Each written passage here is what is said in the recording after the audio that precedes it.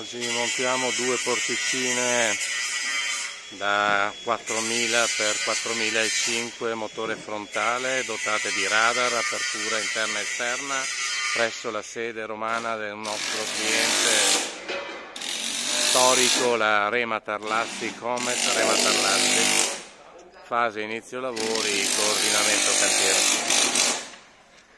montaggio gambe e traverse Presumibilmente questa sera saranno funzionanti e operative.